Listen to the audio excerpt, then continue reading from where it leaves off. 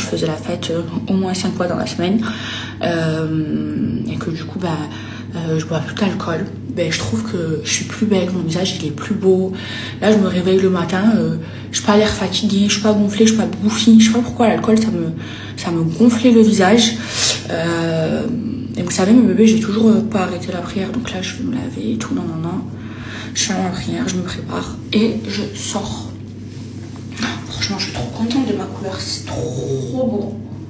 J'aime trop, trop, trop. Ce matin, j'ai perdu une extension. Je vais la ranger. Mais j'ai pas perdu de cheveux. Qu'une extension. Bon, je suis en train de me préparer, mes bébés. J'ai mis juste un petit haut, un petit crop top, un petit legging. Ça m'évitait, je voulais mettre une robe, je me suis dit non, non. Hop là. Là, aujourd'hui, j'ai plaqué mes sourcils. J'ai mon gros lift. J'utilise la